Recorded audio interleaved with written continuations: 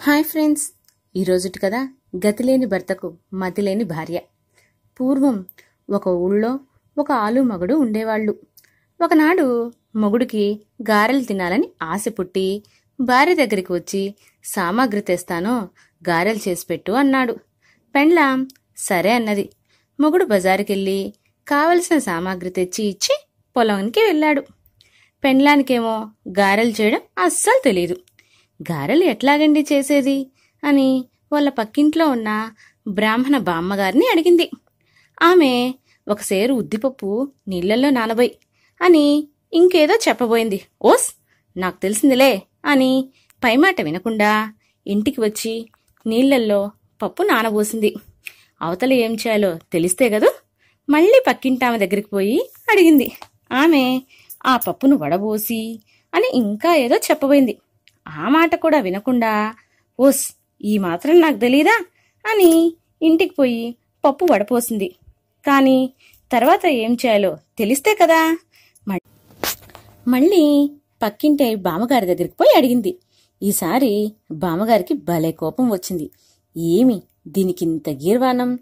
చెప్పేది శాంతంగా వినదు? ఓస్ నాకు తెలిసిందిలేని వెళ్ళిపోతుందా? మళ్ళీ మళ్ళీ వచ్చి అడుగుతూ ఉంటుంది.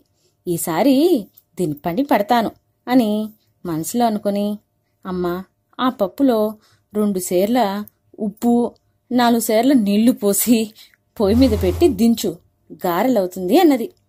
ఇంటికి వచ్చి ఆ వెర్రిబాగులది ఆ ప్రకారంగానే చేసింది.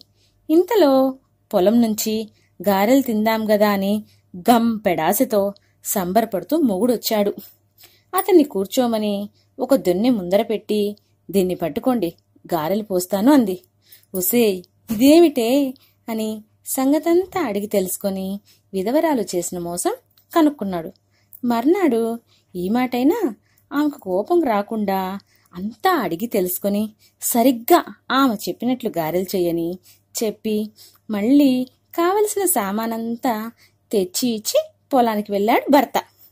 పెండ్లాము పక్కింటి విధవరాల దగ్గరికి వెళ్ళి మళ్ళీ పోయింది. ఆమె తన సంగతంతా చెప్పింది. ఆమెకి అయ్యో పాపమని అనిపించింది. సరే తల్లి ఇప్పుడు నేను గారెలు చేస్తున్నాను. అంతా సరిగ్గా నేను చేసినట్లే చెయ్యి అని చెప్పింది ఆ బామ్మగారు. తర్వాత ఆమె తలగొరిగించుకుని స్నానం చేసి మడి కట్టుకొని పిండి రుబ్బి గారెలు వండింది. ఇదంతా చూసినటువంటి ఆ భార్య అదంతా చూసుకుని ఇంటికి వచ్చింది. మినప్పప్పు నీటిలో నానబోసింది. ఒక మంగళవాన్ని పిలిచి దొడ్లోకి రమ్మని నున్నగా తలగొరిగించుకుని స్నానం చేసి పక్కింటామా దొడ్లో ఆరవేసుకున్న మడి చీర కట్టుకుని పిండి రుబ్బుతున్నది. ఇంకాసేపటికి భర్త పొలం నుంచి ఇంటికి వచ్చి ముసుగు పెట్టుకుని పిండి రుబ్బుతున్న తన భార్యను చూసి పక్కింటి బామగారనుకుని ఏమేయ్ అయ్యో పాపం పక్కింటామ చేత పని చేయిస్తున్నావా? అని ఇంటి వైపు కేసు చూసి అడిగాడు. అదేమిటండి ఎలాగంటారు? బామ్మగారిని కష్టపెట్టి పని చేయించుకోవటానికి నేనేమన్నా వెర్రిదాన్నా? అంటూ ముసుగు తీసి భర్త వైపు తిరిగింది. భార్య అవతారం చూడగానే భర్త ఉసేయ్ నీకిదేం పోయే కాలమే?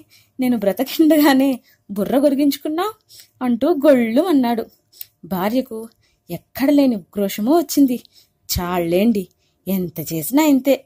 మీరు బామ్మగారు చేసిందల్లా జాగ్రత్తగా చూసి గారెలు వండటం నేర్చుకోమంట్రి. సరే కదా అని ఆవిడగారు చేసినట్లే నేను చేశాను. ఇంకా నన్నెందుకు తిట్టిపోస్తారు అంటూ ఆ వెర్రిబాగుల భార్య కళ్ళ నీళ్ళు పెట్టుకుంది. పాపం ఆ బ్రాహ్మణుడు మర్రే మళ్ళీ గారెలు చేయమని అడిగిన పాపానే పోలేదు. ఓకే ఫ్రెండ్స్ నా కథ మీకు నచ్చినట్లయితే లైక్ చేయండి షేర్ చేయండి మరియు నా ఛానల్ని సబ్స్క్రైబ్ చేయండి. Thank you for watching.